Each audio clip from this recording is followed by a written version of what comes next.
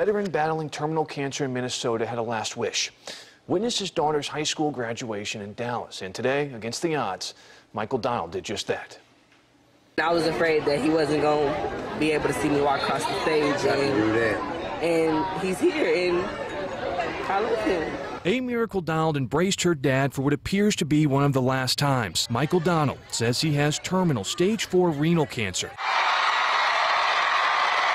Moments earlier, he watched his daughter walk at her high school graduation.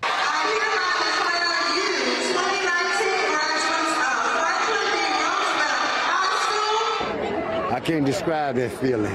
Know, take me back a long way. Michael was unsure if he would be able to attend. Time was and is not on his side. They gave up on me a year and a half ago, but I'm still here. He also did not have the money to travel. But after being prompted, he reached out to the Ferry Foundation, a nonprofit that helps adults with life threatening illnesses forge lasting memories. It paid for his trip to Dallas. I don't know what to say. This is the last one. Last of my child. Uh, I'm so glad that God let me live to see it. Really blessed.